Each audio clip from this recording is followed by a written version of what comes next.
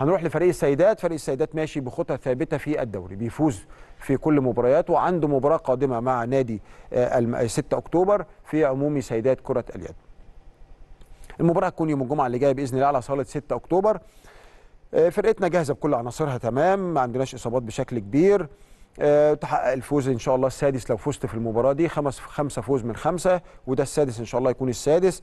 آه، إحنا كنا بدأنا الدور التمهيدي اللي إحنا فيه بالفوز على نادي البنك الأهلي 48 13 وبعدين كسبنا سموحة 23 18 وبعدين كسبنا سبورتنج في مباراة قوية وكانت أقوى مباراتنا في الدو في الجولة الثالثه 20 19 بعد كده فزنا على الطيران 34 19 وأخيرا فزنا وأخيرا فزنا على الشمس 27 25 في مباراة أيضا قوية ولكن مباراة سبورتنج كانت قوية جدا جدا جدا.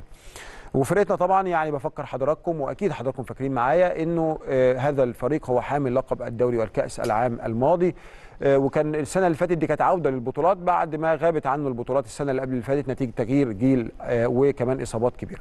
كرة اليد السيدات في مصر بتشهد طفرة بدا يتعمل عقود احتراف زي الرجال والنادي الأهلي كان اول نادي يعمل آه، عقود الاحتراف من قبل ما يقرها الاتحاد المصري لكرة اليد. شفنا منتخب مصر لكرة اليد سيدات النهارده بيتشكل وفي إصرار كبير في المشاركة ليهم بالمشاركة آه، بيهم بهذا الفريق. منتخب مصر السيدات في البطولات الأفريقية لعبوا بطولة أفريقيا اللي فاتت. يعني دايما آه، بتبقى الاهتمام بينبع من النادي الأهلي. لما النادي الأهلي بيهتم بفرقته بالشكل الكبير ده أكيد منتخب مصر في الآخر بيكون هو المستفاد.